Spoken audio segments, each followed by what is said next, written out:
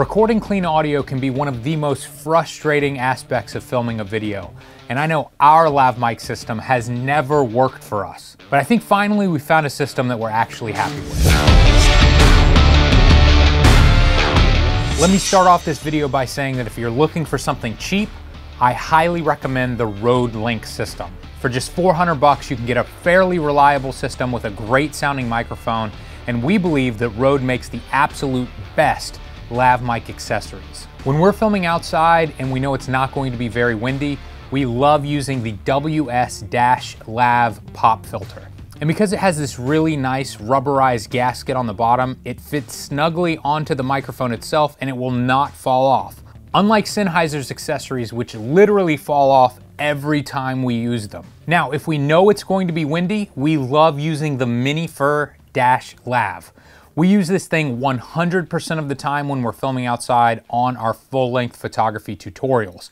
When we filmed Photographing the World with Elia Locardi, we used it 100% of the time outside as well, and it was kind of difficult for you guys to see because Elia was usually wearing so many clothes. But we also used it when we were filming the swimwear photography tutorial with Joey Wright, and of course it's a little bit more obvious with him.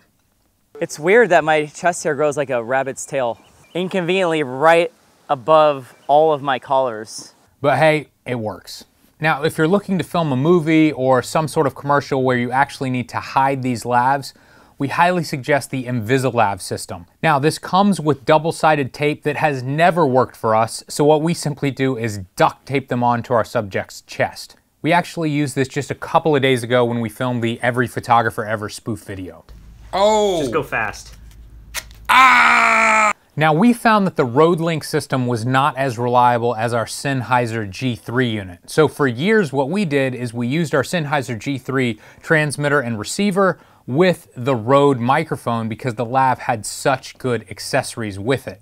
Sadly, this system wasn't reliable for us either though, because the Rode microphones have such thin cables that they are constantly breaking. See, this is tape that we've taped on here because we know this is a weak point.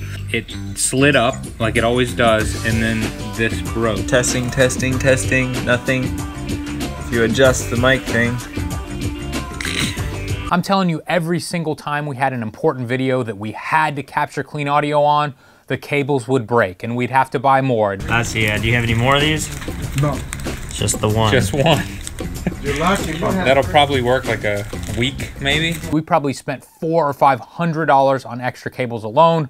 But what's more frustrating than that is having to stop right in the middle of a production to try to rebuild these lav mics and hope that they work. If only we could find a reliable lav mic that was small enough to fit all of the Rode accessories, while at the same time being robust enough to not break every other time we used it.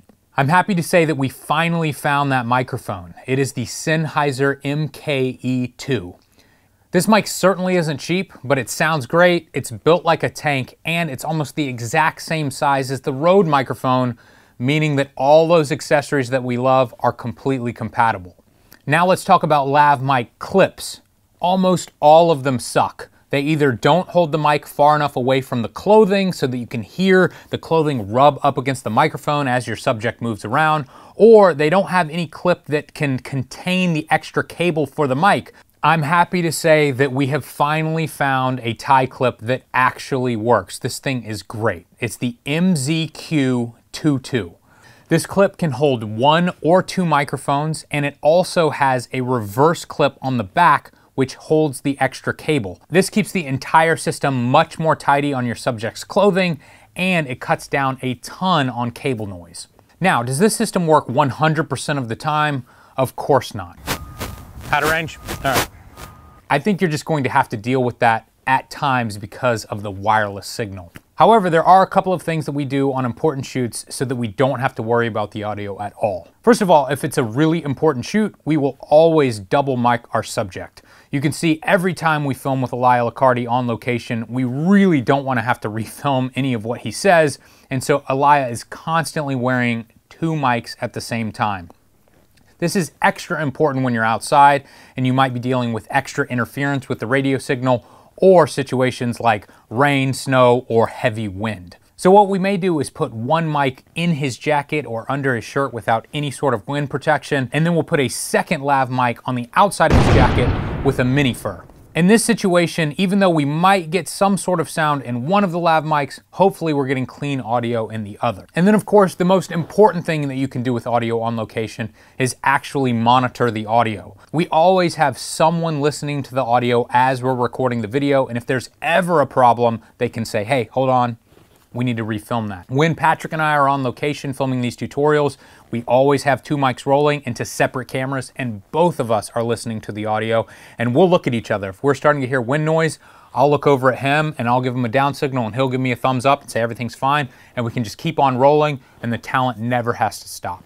So now that you know the basic hardware that we use to film audio when we're shooting all of these videos, let me take you into Premiere real quick and show you how I can clean up the audio just a little bit very quickly and make it sound a little bit more full and a little bit more rich without really doing much work at all. All right, guys, I'm in Premiere here. I've got a clip um, just for audio, and let's listen to it as it is right here, straight out of the camera. So this is an audio test, just so that you can hear what it sounds like. So the first thing you'll notice, we're hitting around uh, negative 18, negative 12 over here. I want to get that as close to zero as I can. Now, I could just right click on this and go to audio gain, and I could add like 10 here. It's going to uh, make it louder. Let's listen. So this is an audio test, just so that you can hear what it sounds like. It's certainly not bad, but you also have to keep in mind that what I'm saying right here I'm kind of speaking at the same level. So you can imagine if I was yelling and then I was whispering, the yelling would be really loud, the whispering would be really quiet. So what I'm going to do, I'm going to undo that by hitting Control Z here. And in the past, what I would do is I would add a compressor onto this clip. Uh, but I found a better way to do it. And let me go up to Window here and then to Audio Track Mixer. And then there's this little arrow right here, Show Hide Effects. I'm going to click that. And if you're familiar at all with working in Audition, these are the effects that are in Audition. And I think they're much better than the ones that are in Premiere. So I'm going to click on Amplitude and Compression, and I'm going to click on Multi-Band Compressor. Now, if you double click on this, it will give you the settings here just like you were in Audition. You can change the presets and you can go through and change all these things. I am not good enough to know what all of these things do. But let's listen to this first of all without, and then I'll turn it on and we'll listen to it with. So it's off right now. So this is an audio test just so that you can hear what it sounds like. So this is an audio test just so that you can hear what it sounds like. So it may be difficult for you guys to hear this, but not only did it make it louder, but it also compressed it a little bit, meaning that the quiet parts are a little bit louder, the louder parts are a little bit quieter. It, it evens everything out, and I think it makes my voice sound a lot better.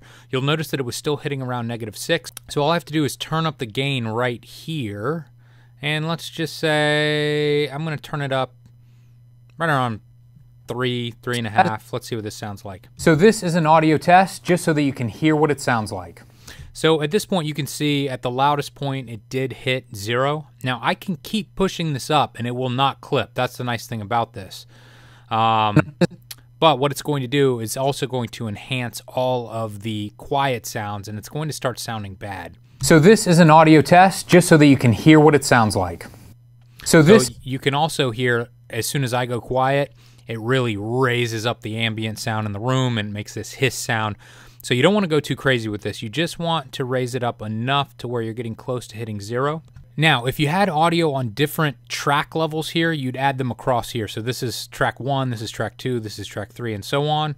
But you could also add multiple effects onto each track. So I could add a completely different compressor, or I could add some sort of uh, uh, limiter here. I could add reverb like this. And the reason why I like doing this rather than copying it in onto each file is that I can affect everything all at once, and then just by hitting this FX button, I can turn it off. So if your computer starts to slow down while you're editing, just click that off. It makes things a lot faster. So guys, that's it. Hopefully this has helped. I know it's taken me years to find a lav system that I'm actually happy with, and this is the best I've found so far. For more content just like this every single day, head over to fstoppers.com, and if you'd like to check out our full-length photography tutorials, head over to fstoppers.com slash store.